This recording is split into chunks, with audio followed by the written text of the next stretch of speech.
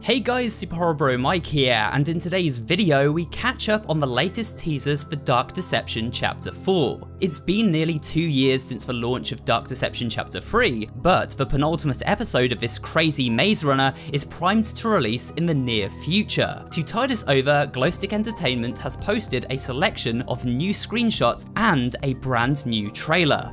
These don't give too much away, but we still are given enough information to form a speculative opinion of the direction these new levels and their monsters are heading. In the first part of the video, I'll join you for my reaction and analysis to the trailer, and then we'll follow up with a full breakdown of the three screenshots revealed beforehand. So sit back, relax, and let's step back inside the Nightmare Portal together. Okay guys, we're about to watch teaser 2 for Dark Deception. Haven't seen it yet, I'm recording this way ahead of my video analysis obviously, just so I can watch it and do a reaction. And I thought, might as well put the face cam on so that I can have a, you know, a proper look at it with you guys. So we're gonna watch this teaser, it's about, I think, 53, 54 seconds long. So yeah, without further ado, let's see what teaser 2 has in store. I haven't edited this video, so I have no clue as to what's going to be the contents. So let's just check this out. Here we go. That's a Joy Joy music. This is a cave. I think this is Mama Bear's level, isn't it? barely buried. It looks nice. The visuals look nice. Got some lanterns lighting our way. And we've got some torches on the wall too, a bit more old fashioned. Seems like we're getting a bit more old school there.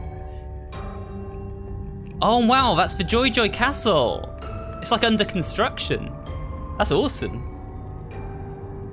And this this must be the escape sequence that we've heard. That looks like we're running away. Wait, what's that? Kind of weird. I think that was the um, Joy Joy gang all like having a laugh at Doug's expense there. I think we can all agree that the trailer looks visually striking, but beyond the visuals, what can we learn here? Well, let's begin with the first half of the trailer, which showcases some new footage from the final portal found within Chapter 4, Barely Buried. In these new clips, Doug carefully navigates an eerily quiet cave system. Visibility is low, and our only guide is the dim light emanating from lanterns placed sparingly through the craggy environment. I suspect that there will be areas of pitch darkness to navigate at times too, don't count on these lanterns to be found everywhere. This will make powers such as telepathy vital if we hope to survive against Mama Bear and her trigger teddies, who will no doubt patrol the darkest reaches of these caves. It's interesting to note that the deeper we explore within these caves, the more things seem to age. Notice how the lanterns look fairly modern early on, but gradually change into old-fashioned flaming torches like those used in medieval times as Doug reaches the lower levels. Could this be a simple artistic choice, or a hint at some kind of purposeful story element? We'll have to wait and see, but it's an interesting observation nonetheless. In the second half of the trailer we get a look at two new shots from the second stage Mascot Mayhem, set inside the theme park Joy Joy Land and the facility where animatronics are brought to life located beneath.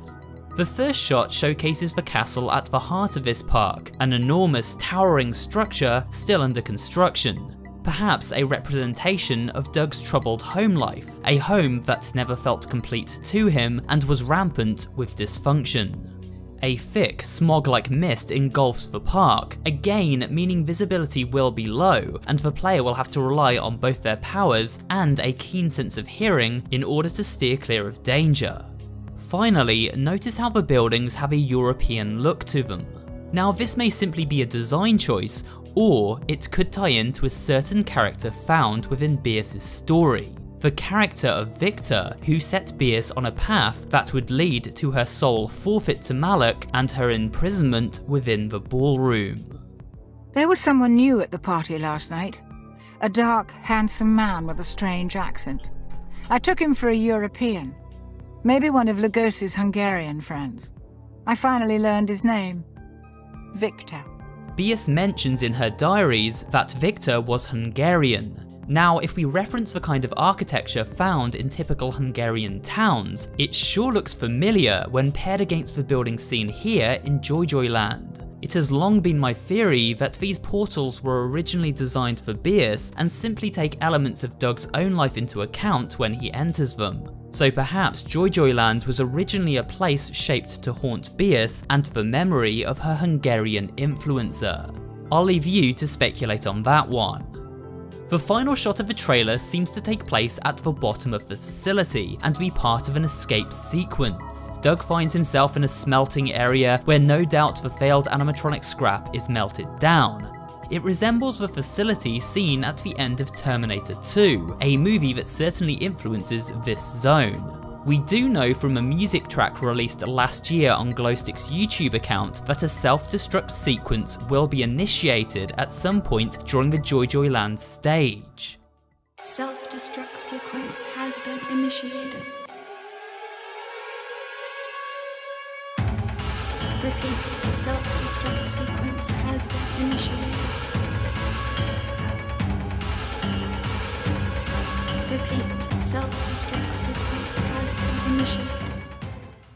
This seems to be that sequence. We can see a countdown of 3 minutes and 40 seconds in the distance. It is likely after defeating the Joy Kill boss, Malak or one of the other Joy gang themselves rig the place to blow in a last ditch effort to stop Doug from escaping.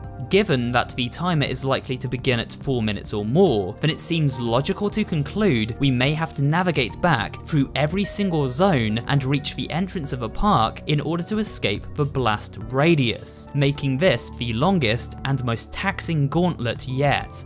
At the very end of the trailer, we hear the Joy Joy gang laughing, presumably at Doug. I don't think there's much to analyse about this particular audio, but it is interesting as it obviously comes from a cutscene or a death animation and gives us more of an idea of how these characters will sound when working together.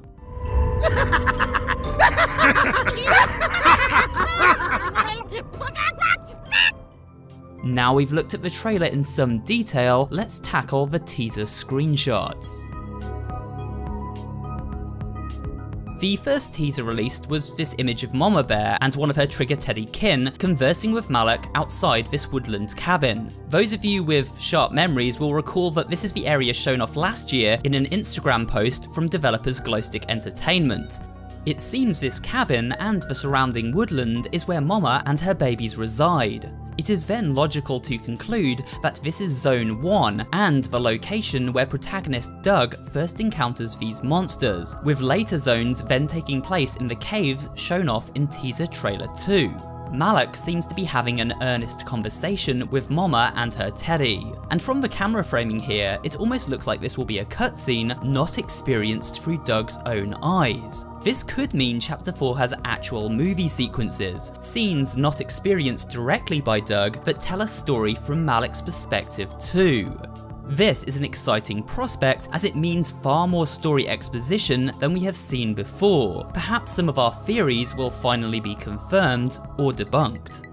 As to what Malak is talking to Mama Bear about here, well, that remains to be seen. My best guess is that he is warning her of Doug's arrival and how imperative it is for him not to best her. After all, at this point in the game, we are getting dangerously close to rebuilding Bias's ring altar, an event which would render Malak and his monster army powerless to her control. This scene may also give us insight into Malak's relationship with his monsters and furthermore reveal a little about their origin. I have made a theory about this previously, so feel free to check that out. I'll leave a link at the end of this video. This was actually the final teaser released to date, but as it ties into the barely buried level, it is probably best to cover it next. As you can see, it shows off a scarily close look at the Trigger Teddies in action. So what is this screenshot showing us? Well, while this could be a cutscene, it seems more likely this is a death animation. As anyone who plays or watches Dark Deception will know, when the player is grabbed by their pursuer, a canned animation plays out, leading into a game over screen. Most monsters have a variety of these kill animations, and it looks like this is the Trigger Teddy one. Similar in some ways to that of a Murder Monkey cluster kill, the Teddy's swarming Doug and overpowering him in numbers. You can see these teddies look rotten and dirty. This does suggest they have recently emerged from somewhere. Now based on the previous Mama Bear renders, it looks like these teddies will crawl from their mother's open stomach. This would mean Mama Bear's mechanic could be similar to that of a clown cast from chapter 3, which pulled up next to Doug and spawned in a group of enemies to give chase. The only other point of interest in this teaser is the background itself. From the wooden textures it suggests this is Zone 1 and would take place inside the cabin seen pictured here and shown off in teaser trailer 1, although it is also possible this environment is a mine located within the caverns. The final teaser image again doesn't give us too much to work with in terms of theorising, it's simply a cool fresh look at some of the new enemies awaiting our arrival when we attempt to survive chapter 4. In this case, mascot mayhem monsters, the Joy Joy Gang. This is one of the few times we've seen animatronic terrors Lucky, Hangry and Penny in their frenzied form. By that, I mean their more cyborg-like form where we see parts of their endoskeleton exposed, particularly the eyes. So with this in mind, it suggests this is a screenshot taken from either Zone 2 or 3 of the Joy Joy Land stage. My bet would be that it's Zone 2, as it lines up with the research and development zone teased in the Lucky Rap Bad Rabbit. So it seems by midway through this portal, the mascots will have taken on their most dangerous form, suggesting this is going to be one tough stage to survive. In the background we can see the escape room, however it is currently locked. We can also observe danger signs on the walls, they seem kind of redundant. I mean, if anyone is foolish enough to venture this far down into a deadly facility, a few signs aren't really going to do them a whole lot of good, right? But with that said, we've come to the end of today's video. I hope you enjoyed this quick recap of the latest on Dark Deception Chapter 4, and if you did, remember to leave a like, comment down below, and of course subscribe for more videos just like this one. Now I'll be covering Chapter 4 with a full playthrough, a few theories, and a look at its secrets too, so be sure to tune back in at launch for my thoughts on the finished game. Thanks for watching, and I'll see you on the next video.